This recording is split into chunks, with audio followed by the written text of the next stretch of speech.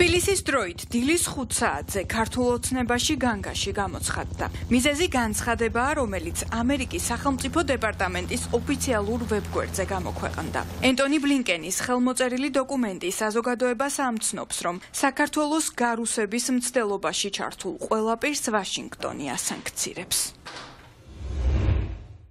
სახელმწიფო დეპარტამენტი იღებს საქართველოსთვის სავიზო შეზღუდვის ახალ პოლიტიკას, რომელიც გავრცელდება საქართველოს დემოკრატიისთვის ძირის გამოთხრაზე, პასუხისმგებელ და თანამონაწილე პირებზე, ასევე მათი ოჯახის წევრებზე. ეს მოიცავს ინდივიდებს, რომლებიც ძალადობისა და დაშინების კამპანიის გზით პასუხისმგებელნი არიან საქართველოსი სამოქალაქო საზოგადოებისა და მშვიდობიანი შეკრების თავისუფლების შეზღუდვაზე. ისტორიაში პირველად საქართველოს მთავარი მოკავშირის მიერ დასანქცირებული ხელისუფლება ჰყავს. სახელები და გვარები ჯერ უცნობია, თუმცა ბლინკენის განცხადებაზე დაყრდნობით სავარაუდოა, რომ სანქცირებულთა სია ბევრად დიდია, ვიდრე რუსული კანონის მხარდამჭერი 84 დეპუტატი. განცხადების დასკვნით ნაწილში ვკითხულობთ, რომ სავიზო შეზღუდვები შეეხება სახელმწიფო თუ არასახელმწიფო აქტორებს, ოჯახის წევრებთან ერთად, რომლებიც ქვეყნის დემოკრატიულ განვითარებას ებრძვიან. რაც მთავარი მთავარია ბლინკენის ანონსით არსებული სია გაფართოვდება და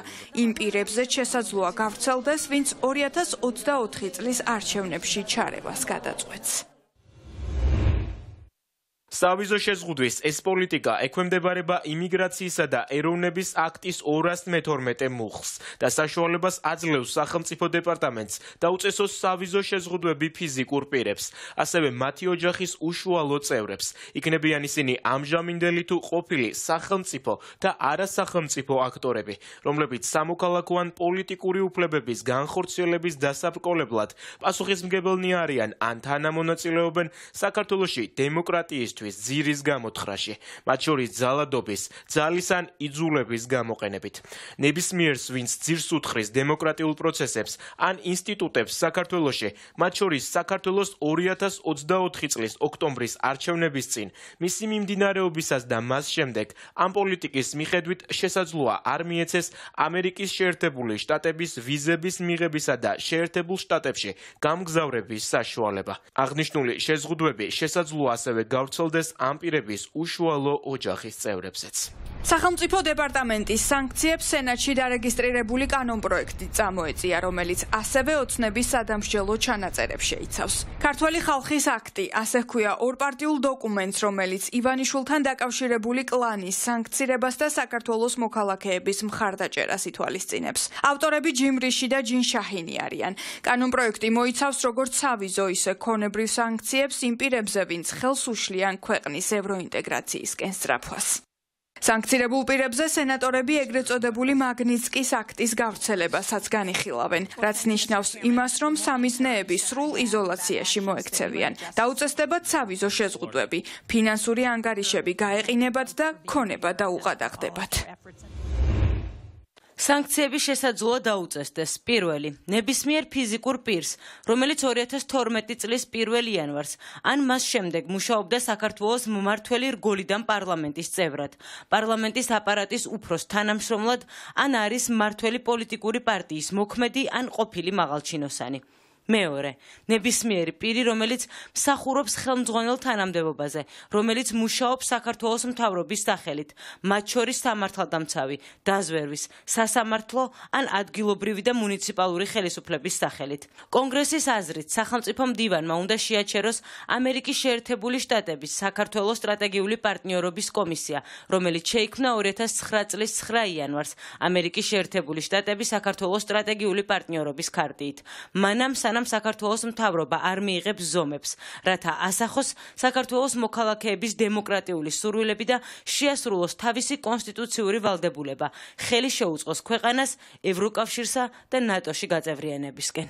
ეს ყველაფერი ჯერ რომ მხოლოდ დასაწყისია, ამაზე მიუთითებს სახელმწიფო დეპარტამენტის პრესპიკერის ინტერვიუ ამერიკის ხმასთან, რომელიც კიდევ უფრო მკაცრ ნაბიჯებს აანონსებს, თუ პრეზიდენტის ვეტო პარლამენტში გადალახული იქნება. ჩვენ სრულად ვუჭერდით მხარს საქართველოს ევრო ევროატლანტიკურ მისწრაფებებს. სულად ვუჭერდით მხარს ევროპასთან მეტ ინტეგრაციას, ნაბიჯებს, რომელსაც დემოკრატიის გასაფართოებლად დგამდნენ. სწორედ ამიტომ, როდესაც ვხედავთ ამის მსგავს უკან გადადგმულ ნაბიჯებს, როცა ვხედავთ, რომ იღებენ კანონს, რომელიც საკმაოდ მკაფიოდ ეფუძნება რუსეთში არსებულ კანონებს, რომელთა მხარდაჭერი მოქმედებები სწორედ რუსეთის ორბიტაზე მყოფი ქვეყნებისგან გვინახავს, ეს ჩვენ ძალიან სერიოზულად გვაშფოთებს. თუკი პრეზიდენტის ვეტო დაძლეული იქნება, ამას ძალიან მკაფიოდ ექნება შედეგები საქართველოსა და ამერიკის ურთიერთობებზე. ამას ექნება შედეგი სხვა ევროპულ სახელმწიფოებსა და საქართველოს შორის ურთიერთობაზე და საბოლოოდ საქართველოს ევროპულ მისწრაფებებზე. დიპლომატიური ურთიერთობების მინიმუმამდე დაყვანის გამო წუხილს გამოთქვამს ამერიკის ყოფილი ელჩი საქართველოში ჯონ პასი. განცხადებას ავრცელებს დემოკრატი ბილ კიტინგი, რომლის კითხვის საპასუხოდ კონგრესის საგარეო კომიტეტზე ენტონი ბლინკენმა ოცნების კანონს მოსკოვის სახელმძღვანელოდან გადმოწერილი უწოდა. გუშინ მე ვკითხე ენტონი ბლინკენს საგარეო კომიტეტზე მოსმენისას კრემლისგან შთაგონებული უცხოური აგენტების კანონმდებლობაზე. დღევანდელი განცხადება სავიზო შეზღუდვებსა და ორმხრივი ურთიერთობების გადახედვაზე მიანიშნებს ჩვენს ერთგულებაზე ქართველი ხალხის მიმართ, რომელიც ევროპული მომავლისკენ ილტვის. დღეს სახელმწიფო მდივანმა ენტონი ბლინკენმა გამოაცხადა სავიზო შეზღუდვების პოლიტიკა იმ პირებისთვის, რომლებიც ძირს უთხრიან დემოკრატიას საქართველოში. როგორც ამერიკის შეერთებული შტატების ყოფილი ელჩი საქართველოში, ღრმად დამწუხრებული ვარ, რომ საქმე აქამდე მივიდა. ჩვენ შეერთებული შტატები მხარს უჭერთ ქართული ხალხის უფლებას აირჩიოს საკუთარი მომავალი. მიუხედავად იმისა, რომ ამერიკის შეერთებული შტატები საქართველოსთან სტრატეგიული პარტნიორობის გადახედვასაც აპირებს, ვაშინგტონი ქართულ ხალხს არ მიატოვებს. ეს არის ის მთავარი გზავნილი, რომელიც ამერიკის ყველა მაღალჩინოს ანსაქვს. ქართველი ხალხის მისწრაფებების საწინააღმდეგოდ გადადგმულ ნაბიჯს კი შტატები უპასუხოდ არ დატოვებს. სანქციების პირველი პაკეტი უკვე მიღებულია. უფრო მკაცრი ზომების თავიდან ასარიდებლად კი ოცნების ხელისუფლებას წამზომი უკვე ჩართული აქვს.